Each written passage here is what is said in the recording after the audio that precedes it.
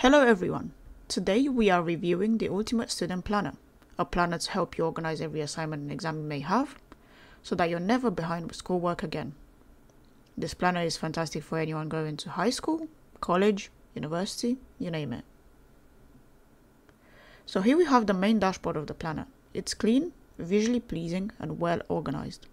You get charts at the top, tracking your progress such as status, class distribution of your assignments, grades and priority levels. This is a perfect view of how you're doing overall. Below we have the core of the planner, the assignment tracker. Each row here represents a task and every detail is covered. Assignment name, priority, status, due date and how many days you have left to complete your work.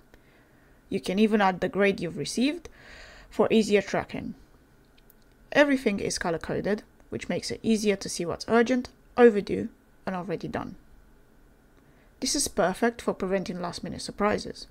For instance, I can instantly see which tasks are overdue or marked as urgent.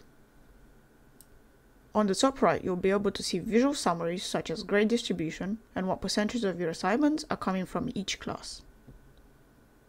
One of my favorite parts is the long-term project tracker, right here on the right. If you've got ongoing projects or term papers, this section is everything you need to keep track of them. In this planner, you also get a course tracker, where you can select what classes you have for each day during the four school seasons. This is great for remembering which classes you need to attend and when. The book tracker down here lets you keep track of what books you have borrowed from the library or what books you may need and what subjects to use them in. You can add your notes on the books or keep track of the return dates if needed. The habit tracker helps you remember any daily habits you would like to do on the day, set out for every month of the school year. This has been one of my favorite features so far because it has helped me stay on track with my daily activities. The calendar section is great for planning school events, book returns, days out, appointments, and sporting events. You can even add your notes at the end of each month, like a summary of what you've done for the past few weeks. The setup page is where you lay out your subjects and grades, depending on what you study and where. This makes the planner very versatile and easy to set up.